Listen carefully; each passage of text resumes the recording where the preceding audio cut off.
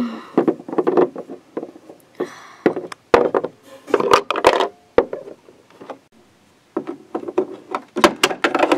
good, you're up. Hey guys, I had the weirdest dream where Mink got kidnapped and I don't know, so strange. Oh, that totally wasn't a dream, bozo. You just fainted and we had to drag you out of the you know what place. This, so that secret place we found, the you know what place, Th- that was all real? Yeah. And Mint's gone. And how are we gonna explain to our parents how all of a sudden their dearest little daughter is missing? I don't know. Did you find anything in the spot she was kidnapped in? Yeah, but it's useless. Come look for yourself.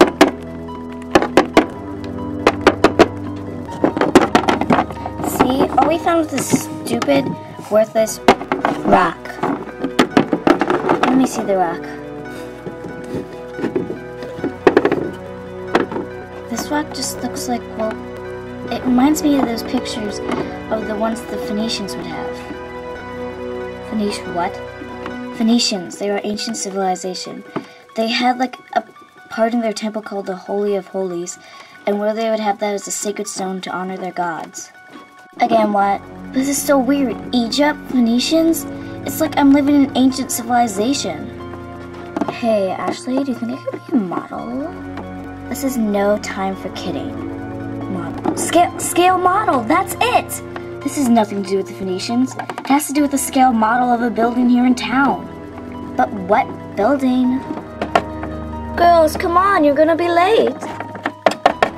Uh, let's hide this somewhere. I gotta get ready. You hide it. No, you hide it. No, you!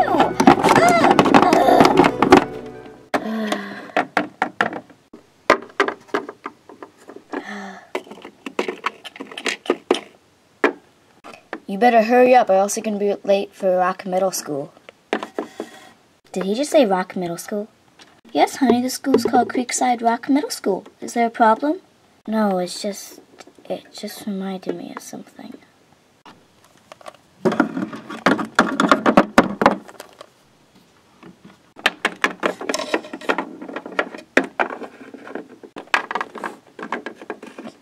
Girls, where's Girls, where's Mint? Her roll cake's gonna get cold. Um, uh, she went to school with a friend who picked her up that she met in the neighborhood. Uh, Hmm, well, that's odd. I don't remember ever leaving the house to see the neighborhood. Girls, come on, I don't have all day. I better just go to the bathroom just in case.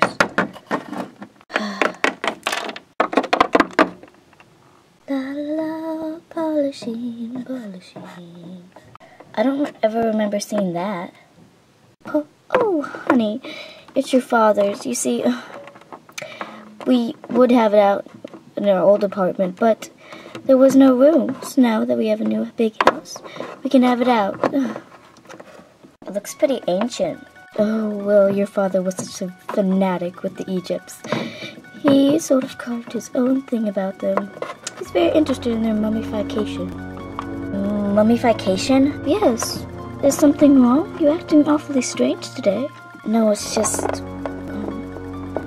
Did he used to live around here? I don't really know. You'd have to ask him. I'm sure some part in time he probably lived here. He's been all over the world. But he doesn't stay in a place too long. I don't know why.